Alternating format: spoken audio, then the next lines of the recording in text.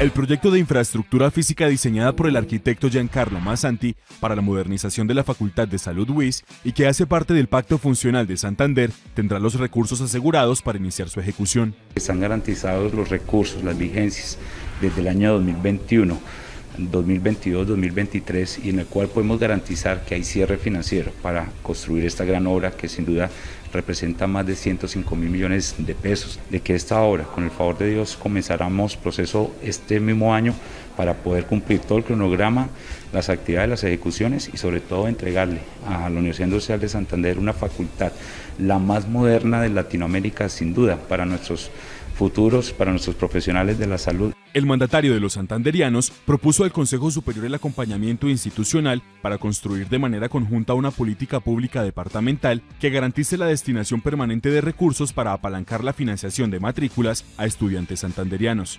Hay que entender que son tres componentes.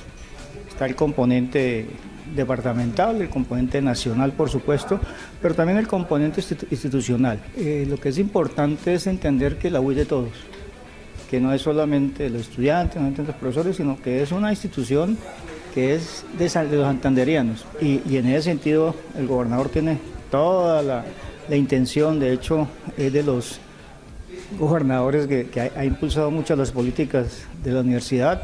Tras su reciente aprobación por el Consejo Académico, el máximo órgano de gobierno universitario avaló la implementación del nuevo modelo pedagógico WIS 21 de cara a los nuevos desafíos institucionales.